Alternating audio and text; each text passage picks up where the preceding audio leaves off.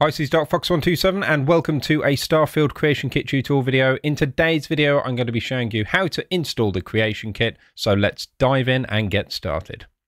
The first step is going to be to navigate to the store page dedicated to the Starfield Creation Kit. I will place a link in the description down below. And once here, I would first recommend that you check out the system requirements. If we scroll down, everything for the most part looks good. However, something that seems a little bit off at the time of this video, I'm not sure if this is going to change, but this, for whatever reason, requires 32 gigabytes of RAM at the minimum spec and 48 gigabytes of RAM at the recommended spec. So do be aware that your mileage may vary when using the creation kit for Starfield depending on your personal rig.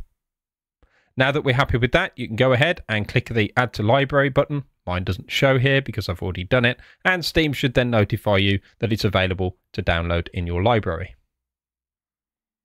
Once added to your library, simply navigate to your Steam library section and go to the search bar at the top left, type in Starfield, and you should find that alongside the game, you have under software, Starfield Creation Kit.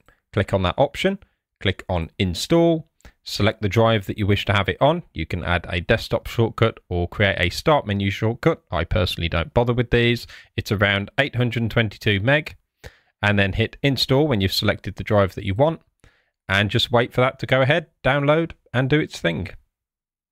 Once downloaded, you can go ahead and click on launch. You should then be greeted with a splash screen where it says initiating or initializing, sorry, the archive, and it'll do a couple of other things as well. You might find that on the first load, this will take a fair amount of time. For me, it was about five or 10 minutes, but again, here your mileage may vary, but once you've done it once, subsequent loads should be a lot quicker. Now, once this loads up, you will see that you have a bunch of the usual sort of creation kit windows. If you're familiar with any of the previous kits, uh, they will all be jumbled up and piled together into the center of the screen. So you will be able to go ahead, move those around, shift them into place as I have here, and then you should have the creation kit pretty much ready to go.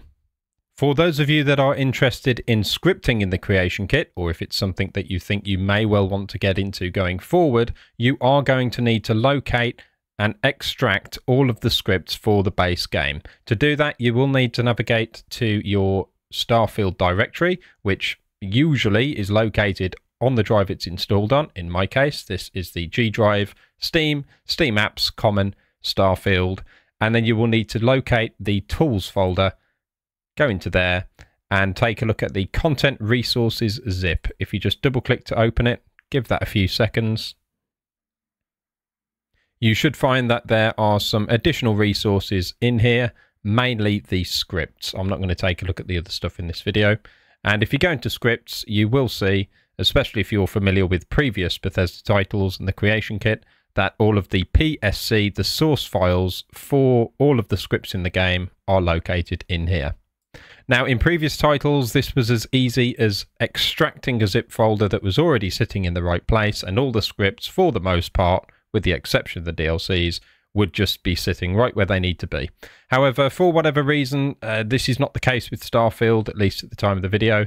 Therefore, what you will need to do is pretty much just extract all of these files, the PSC files, into a very specific folder structure. So if we go back into your Starfield directory, go into data, you will need to do as I have done here, create a scripts folder, create a folder called source within there, and then as I have started doing, but not completed, you will need to put all of the PSC scripts from that other folder into here. And you will note that some of them are contained in their own folders based on DLCs and, and other things like that. So you will have to pull all of these out so that they're all loose together in that one folder. And then you should be able to reload the creation kit and it will start looking at all of the scripts for the game. And that is just about it for this video, so I hope you found it useful. Please let me know in the comments section down below. And if you're looking forward to more Starfield Creation Kit tutorial videos in the future, make sure you hit that like, subscribe button and the bell notification as not to miss any future videos.